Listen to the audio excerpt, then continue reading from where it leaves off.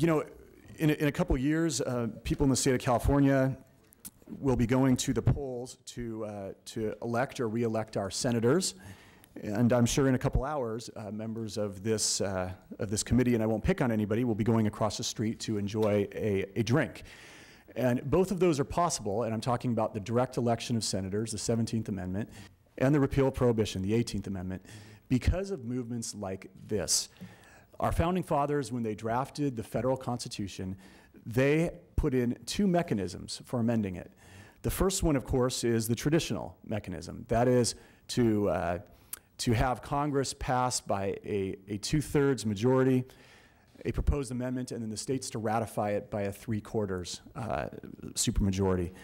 They also put in a second mechanism, and that mechanism allows the states to, in effect, rise up and say, Congress, you have not acted. We are demanding that you act. And then Congress would have to call a convention on the topic, and then it would go back to the states, and I stress that, it would go back to the states to be ratified by a three-quarter supermajority.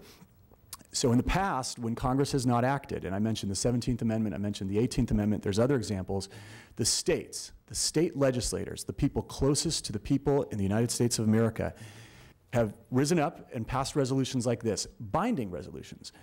We urge Congress to do a lot of things on the floor.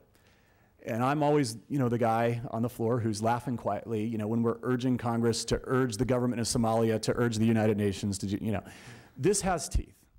This actually would be a binding resolution, and it's one of the few times, it, this is a unique and arcane constitutional procedure, where the legislatures, the governors don't need to sign it, but the legislators of the state, the people closest to the people, can rise up and say, Congress, you have to act, you have to act on this issue.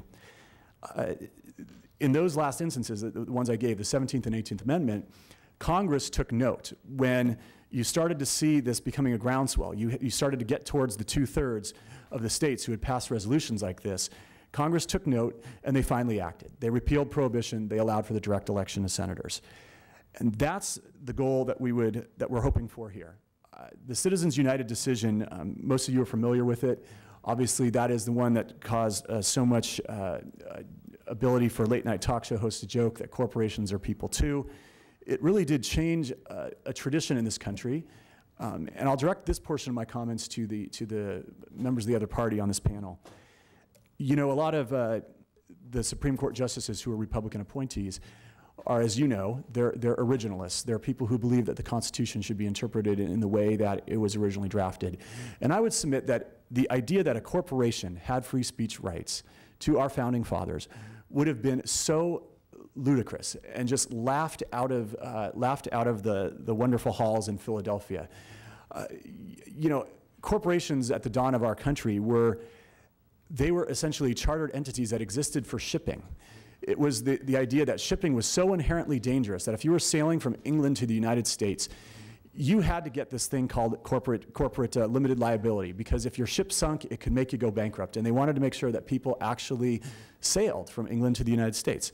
So we created this corporate uh, entity. And a corporation has always been a thing. It will always be a thing. It will never be a person, in my book. And it's also something that speaks through its, uh, let's put it this way, all the shareholders in a corporation have the right to free, free speech. All the people who work for a corporation have the right to free speech. But the idea that the corporation itself has a right to free speech, the idea that speech, that money is speech, it should offend every single one of us. Because you know what? I'm not that wealthy, and I don't think, I, have checked some of your Form 700s, neither are you that wealthy either. And when, when we say that money is speech, and that somehow the very, very wealthy have the right to more speech than you and I, that's where I start to have a problem. And that's why the Citizens United decision is so problematic, and that's why it needs to be repealed.